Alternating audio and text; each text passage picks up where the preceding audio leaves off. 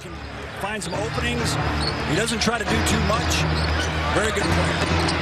He was the number one draft choice in Milwaukee several seasons ago. Jeremy. Wow. What a pass. Dwight knew what to do with it. It looked like the whole town of Milwaukee was surrounding Dwight then. Let's watch this alley-oop one more time. Jeremy Lin throws it to the bucket. Dwight goes and gets it for Houston.